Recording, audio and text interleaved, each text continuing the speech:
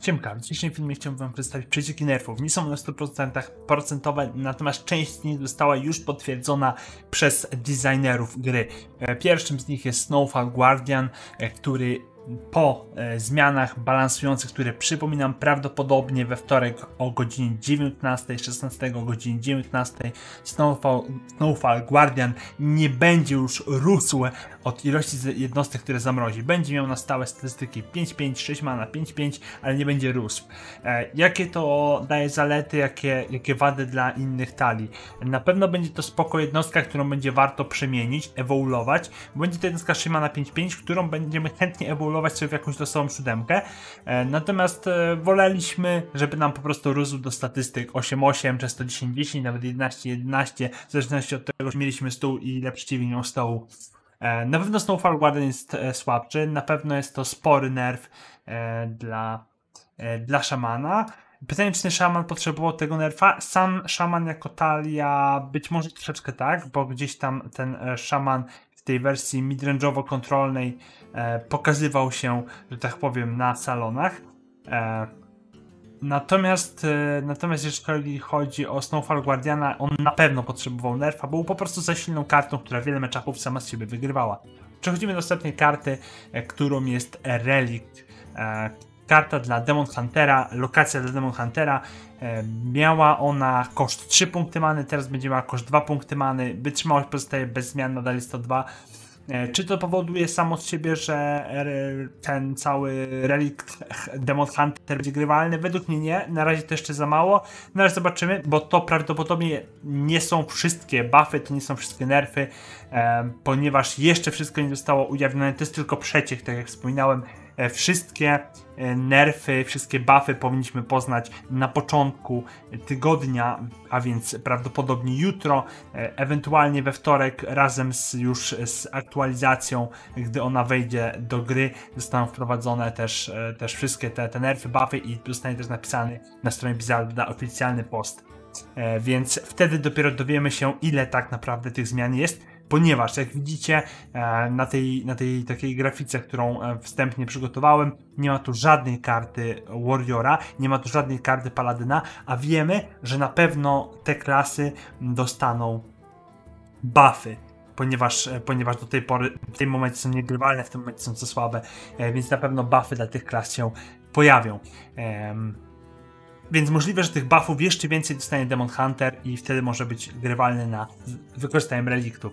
E, kolejna karta to lokacja dla Warlocka. Warlock jest za silny i mam nadzieję, że zobaczymy jeszcze jeden nerf dla Warlocka, że nie, nie tylko lokacja, tak naprawdę niektórzy mogą nie dostrzec nawet co w tej lokacji się zmieniło, a mianowicie lokacja do tej pory dawała nam buff plus 1 plus 1 i powtarzała ten efekt za każdego impa, którego kontrolujemy.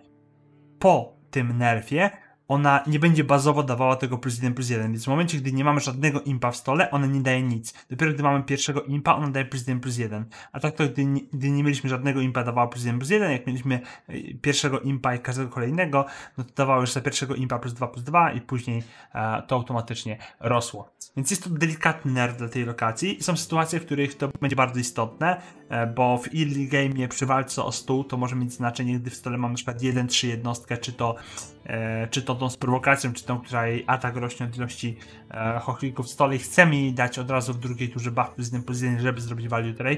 W takich sytuacjach ma to znaczenie.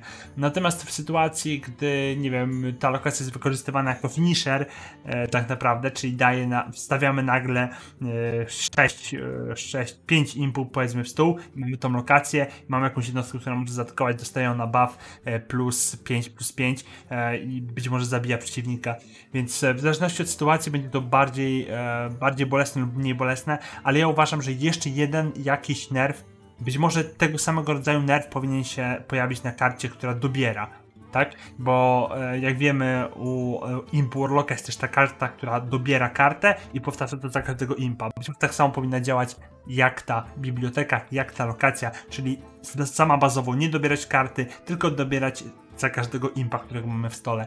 Wtedy być może ten Imp Warlock byłby zbalansowany, być może e, byłby, nie byłby tak silny. Zobaczymy, jak to Blizzard rozwiąże, czy faktycznie bardziej zdecydują się tego Warlocka znerwić. Następna karta to Starkias, który mm, na którym też można nie zauważyć na pierwszy rzut oka tej zmiany, ponieważ Halkias nadal ma taką, taki sam koszt many, takie same statystyki, taką samą agonię, ale dostał stealtha. A więc teraz przeciwnik nie będzie nam mógł wytradować tego Halkiasa, gdzieś tam aktywować sekret i znowu go wytradować i tak dalej, i tak dalej, żeby po prostu się go pozbyć na stałe ze stołu.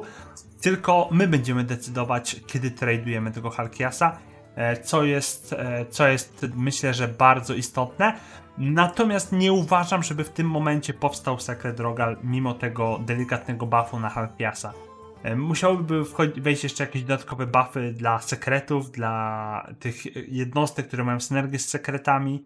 Um, co ciężko mi sobie wyobrazić, tak? Ciężko mi jest sobie wyobrazić buff dla sekretów i ciężko mi jest sobie wyobrazić buff dla pozostałych dwóch jednostek, które mają synergię z sekretami e, u Rogala, ponieważ e, prawdopodobnie byłoby to za mocne, e, bo byłoby to OP po prostu. Tak jak OP jest Edwin, którego widzicie po lewej stronie, który do tej pory miał statystyki 4 mana 4-4 i był świetny, był fenomenalną, legendarną kartą, był turbo broken, dostał jeszcze buffa, bo co, bo może, nie? Bo może, bo why not? Dostał dostał jeszcze buffa na 3 na 3-3, więc Edwin będzie teraz prawdopodobnie w każdym rogalu, bo takiej karty nie można nie wrzucić do talii. Zatrzymany dobiera nam mnóstwo kart. Dodatkowo łatwiej go będzie zagrać ze Smite'em, e, bo nie, nie będziemy potrzebować Shadow Stepa, albo będziemy mogli zagrać Shadow Stepa i wtedy będzie on jeden punkt many, e, będzie kosztował jeden punkt many e, przy następnym zagraniu i dobierał dalej karty. Niesamowita karciocha, która na pewno będzie nam psuć krew. E, natomiast wróćmy jeszcze do prawego górnego rogu, e, gdzie widzimy szkło wykrywające, czyli kartę dla Demon Huntera, która teraz, tak jak tutaj dopisałem, będzie mieć prawdopodobnie 3 punkty ataku. E, tak jak mówię, te nerfy, te buffy jeszcze nie są takie stuprocentowe.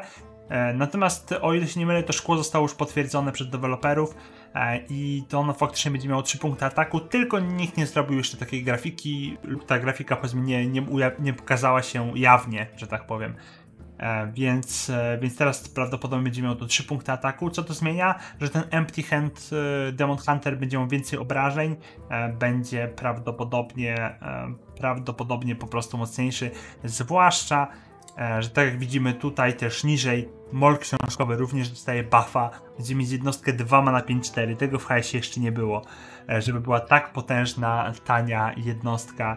Mm, więc myślę, że ten Empty, Empty Hand Demon Hunter też ma szansę gdzieś się tam wybić i może gdzieś pograć. E, Relikt wymarcie, czyli kolejny buff dla Demon Huntera jest bardzo niepewny.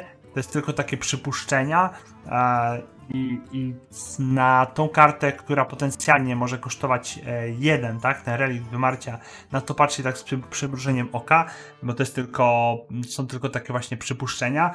Część, tak mówię, część z tych nerfów, część z tych buffów została już potwierdzona, ten nie został potwierdzony ten na pewno nie został potwierdzony jeszcze, ten relikt wymarcia, więc tak mówię, on jest taki z przymrużeniem oka, ale jest to, jest to przypuszczalny, przypuszczalny buff, jaki może się pojawić i być może to spowoduje, że ludzie będą chcieli kombinować z tymi reliktami, z tym empty handem. Tak, czyli możliwe, że nawet połączą te dwa archetypy, empty hand i relikty. Kto wie. Celestial ma alignment, natomiast został zabity, tak? Czyli już nie będziemy mieć problemu z koniunkcją druidem, Celestial druidem, a na kontra druidem, czy zwał jak zwał ponieważ y, Celestial teraz ustawia nasz, naszą manę na 0 i nasz koszt kart na 1. Z tego, z tego wynika to, że po prostu nie będzie sensu tego grać, no bo jeżeli to stracimy, zagramy to za 8 punktów many, to na większość talii po prostu zginiemy, tak? Bo dajemy przeciwnikowi po prostu turę. E, to cza, czasami, grając na agresywną talię, bolało nam oddanie czwartej tury, czyli zagranie porostu tam x miesięcy temu, czy, czy w tym momencie zagranie jakiegoś, jakiejś innej rampy, na przykład nas boli. A zagranie za 8 punktów many karty, która nic nie zrobi, no nie będzie raczej możliwe, e, więc będziemy grać Ramp Druidem, a nie Celestial Druidem. E, ostatnia karciocha, której nie powiedziałem, jest to broń, którą otrzymuje Hunter po tym, jak przebudzi się e, jeden z Wild Seedsów, po tym, jak przebudzi się Jelonek, e, dostają właśnie, te, dostawał do tej pory broń 4.2, teraz będzie dostawał broń 3.2. Bardzo ważna zmiana, ponieważ prawdopodobnie ten jelonek był najmocniejszym łajcicem. W większości przypadków chcieliśmy utrzymać tego jelonka, żeby właśnie dostać tą broń, która zada przeciwnikowi 8 punktów obrażeń. Więc nieważne, czy graliśmy Beast Demon Hunterem, czy Face Demon Hunterem, czy nawet Quest Demon Hunterem, który grał dwa spele, e, które przywołują, przywołują Wild Seeds, czyli te dzikie zarodniki. Chcieliśmy otrzymać jelonka, żeby otrzymać ten łuk i móc zadawać te obrażenia, móc tradować. Teraz e, ta ilość obrażeń będzie ograniczona tylko dwa, ale nie patrzyłbym na to z ilości obrażeń, którą ograniczamy poprzez e, zmniejszenie tego ataku, tylko o pogorszenie trade'ów, bo często ten łuk służył nam jako trade na jednostkę, która miała 4 w plecach. I to tyle, jeżeli chodzi o, o to, co, co już gdzieś tam e, wyciekło. E, więcej przedstawię Wam w kolejnym filmie, w którym już omówimy sobie oficjalne zmiany. To jest, tak jak mówię, tylko taka, taki przedsmak, taka zapowiedź, e, którą możecie sobie, z której możecie wywnioskować, jak potencjalnie zmieni się meta. Tak jak mówię, część jest już potwierdzona. Można powiedzieć, że Snowfall Guardian Relic dla, Relic dla Demon Huntera, ten, ta lokacja, lokacja dla Warlocka została potwierdzona. E, Wildbow e, został potwierdzony u Huntera, Edwin został potwierdzony, Halkes, o ile się nie mylę, też został potwierdzony i Celestial został potwierdzony. E, potwierdzony został też mol książkowy, którego widzicie tutaj za mną i chyba potwierdzone zostało szkło. Ta jedynka, ten relikt wymarcia nie został jeszcze potwierdzony i na pewno zostało potwierdzone, że tych buffów będzie więcej, bo będzie na pewno jeszcze buff dla Paladyna i na pewno jeszcze buff dla Warriora, więc jeszcze wiele rzeczy zobaczycie. Prawdopodobnie E, w środę w filmie, bo jeżeli nie będzie, jeżeli nie będzie wcześniej tych, tych informacji o nerfach, to nagram to dopiero we wtorek i wrzucę wam w środę, więc bądźcie czujni i oglądajcie moje filmy. Zapraszam serdecznie również na Twitcha. Trzymajcie się, na razie. Miłego dnia, cześć.